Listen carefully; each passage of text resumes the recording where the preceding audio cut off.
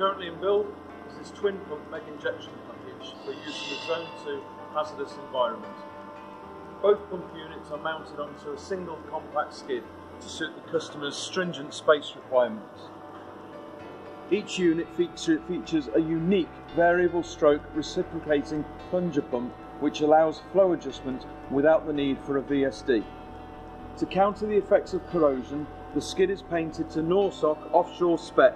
The process pipework is manufactured in duplex and the valves, tubing and fittings are 6MO. These spherical resonators remove pressure pulsations. They have two significant advantages over traditional bladder type dampers. Firstly, they're maintenance free. Secondly, they require no pre-charge. This means they can work across the unit's full operating pressure range without need for adjustment.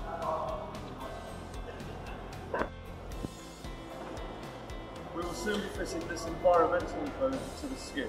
In addition to the protection it offers from the environment, it serves two other major purposes. It is designed to withstand the blast overpressure, 0.5 bar, and it is significantly noise attenuated to meet the regulations of the operating environment. The unit will then be moved into one of our two test bays where it will undergo full pre-delivery testing. This testing will be witnessed by the customer.